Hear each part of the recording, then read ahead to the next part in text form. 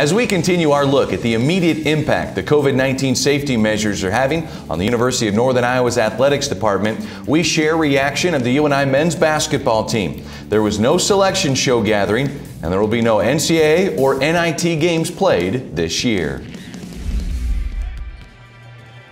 It was just all crazy. Uh, first, it started by us seeing um, them cancel a People's Conference tournament and then after that, it went to they canceled the CBI. And after that, it was the NIT. So at that time, we were just hoping that we made it on Selection Sunday.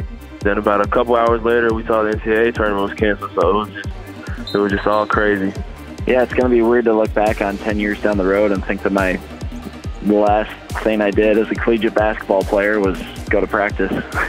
you know, usually everyone ends on a game, but for me, it was just I went to practice one day and little did I know it'd be the last practice I ever went to.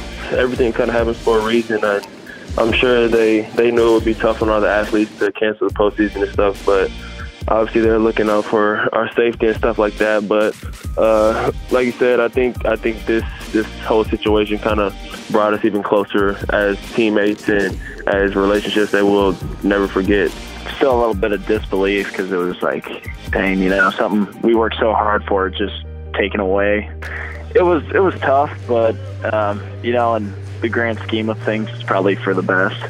You know, Coach Jake he, he came in and he he gave us a good reminder that you know even though it's not ideal by any means, that you know we had a great season and there's a lot of things for us to be grateful about and be happy about, and you know it's it's not the end of the world and it's part of life and we can be happy with what we did this year.